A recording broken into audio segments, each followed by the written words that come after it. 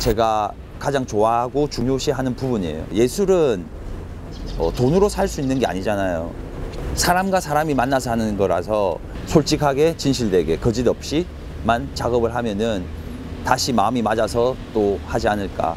워낙 뭐 파탈, 옥무 파탈, 판무 파탈 이런 얘기가 많이 나오는데 그 작품에서도 굉장히 외모적으로 완벽한 완전 모델 같은 키가 187에 얼굴도 완전 잘생긴 그런 사람이 꼭 매력이 있는 건 아니잖아요. 외면적인 게 아니라 내면적인 면을 더 많이 봐야 되지 않을까. 그래서 이제 저는 그 파탈이라는 작품을 주제를 선택했고 요즘에 워낙 그 많은 예술이 collaboration이 많이 이루어지는데 퍼센트로 하면 한 7, 80%는 아무래도 춤 작업, 움직임이 아마 대부분 주를 이루지 않을까. 저는 그렇게 작업하고 싶고요.